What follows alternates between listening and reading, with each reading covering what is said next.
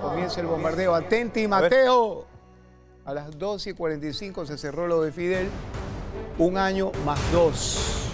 Un año más dos opciones. O sea, un año más dos temporadas más si le va bien ese año.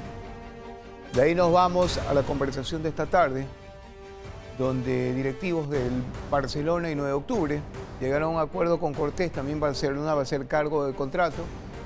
Eh, Cortés hasta diciembre pero el jugador no ha dado todavía la última palabra y quizás cuando venga su representante hable con él, porque quiere hablar con el representante, Cortés, para ver sobre qué está pisando.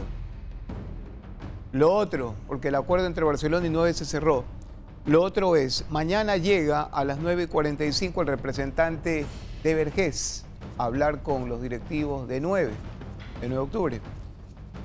Y puede haber la posibilidad, si por allí Cetre es prestado, se va a otro equipo, de que se contrate o se quede Cortés, porque ya está Cortés, pero hay que ver todavía con el jugador. El jugador quiere hablar con el representante de él, como última palabra, como última instancia. Y ahí viene el otro. Puede ser también Vergés, Vergés Cortés. Puede ser, siempre y cuando le encuentren cabida a Cetre. Puede ser, esa es una probabilidad. Ahí viene la otra. Atenti, Mateo. Cuerpo técnico del Emelec ante la salida de Canto y de otros chicos tan lesionados, Quintero, ha solicitado a Darío Aymar. Darío Aymar del Barcelona al Emelec.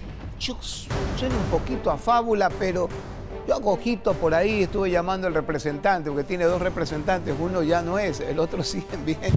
Problema ahí con el jugador y dos representantes. Y no me contesta. Y cuando no me contesta es porque hay algo. Porque cuando me contesta dice, no, es mentira, es absurdo, imposible. No Está huyendo a la pregunta ineludible. O sea, significa de que no pienso que, que esté tanto, ¿no? Gambeteándome, sino que está